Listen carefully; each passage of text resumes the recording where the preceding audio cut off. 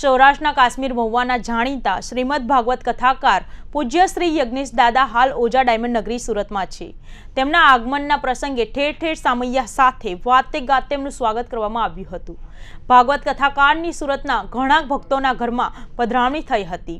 એમણે સુરતના સરથાણા પોલીસ સ્ટેશનમાં પણ પધરામણી કરી હતી. પોલીસની કામગીરીને ક્યારેક સાબાસી તો ક્યારેક અપશબ્દો પણ મળે છે. પણ જ્યારે સારી કામગીરી થાય ત્યારે પોલીસને દિલથી બિરદાવવી જોઈએ. આ વાત એક ભાગવત કથાકાર સારી રીતે જાણતા હોય છે. તેથી જ સુરતમાં પધરામણી દરમિયાન સૌરાષ્ટ્રના પ્રસિદ્ધ શ્રીમદ ભાગવત કથાકાર પરમ પૂજ્ય યજ્ઞેશ દાદા ઓઝાએ રૂબરૂ સરથાણા પોલીસ સ્ટેશનની મુલાકાત લઈને પાંચ પોઈન્ટ પચાસ કરોડના લૂંટ કેસમાં સફળતા મેળવવા બદલ ACP V R Patel PI Viral Patel સહિત પોલીસના કર્મચારીઓને અભિનંદન પાઠવી આશીર્વચન અને આશીર્વાદ આપ્યા હતા. શ્રી યજ્ઞેશ દાદાએ જણાવ્યું હતું કે પોલીસ પર અવારનવાર કામગીરી અંગે આંગળી ચિંધાતી હોય છે. તેમ છતાં પોલીસ એની પરવા કર્યા વગર કામને નિષ્ઠાથી નિભાવે છે. જીવનને જોખમાં મૂકીને તે લોકોની અને લોકોના જાનમાલની રક્ષા કરે છે.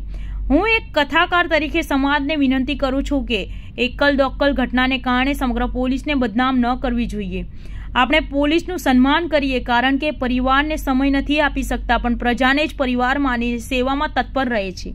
છેલ્લા ત્રણ દિવસથી શ્રીમદ ભાગવત કથાકાર પરમ પૂજ્ય શ્રી યજ્ઞેશ દાદા ઓજા સુરતમાં છે. સુરતમાં ઠેર ઠેર ઢોલ નગરા સાથે વાતે ગાતે એમની પધરામણીના સામૈયા કરવામાં આવ્યા હતા.